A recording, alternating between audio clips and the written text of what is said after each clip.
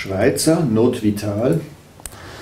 Ja, Notvital ist einer der, ist zwar Schweizer, aber ein Kosmopolit, lebt, äh, glaube ich, in New York, in, äh, in Peking ähm, und auf einer Insel vor der chilenischen Küste und in einer nigerischen, äh, nigerischen, nein, einer, nigerianischen, nee, nicht nigerianisch, nigerischen, nigerischen, äh, äh, also in einer Oase in Niger, äh, in Agadez, wo er ähm, und in Sent im Unterengadin, wo er ursprünglich herstammt.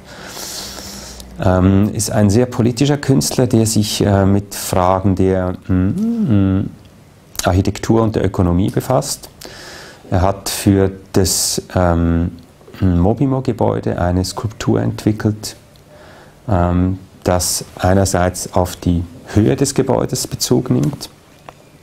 Es ist ein großer Betonwürfel, dessen Kantenlänge eben der Höhe, der Gesamtkantenlänge des, der Höhe des Gebäudes entspricht und hat gleichzeitig in, eben in Agadez einen Brunnen bohren lassen, der genauso tief ist wie dieses, wie dieses Gebäude von Roger Diener, dieses Hochhaus, hoch ist. Und damit natürlich den Menschen in Agadez ganz nebenbei und elegant noch zu einem Trinkwasserbrunnen verholfen.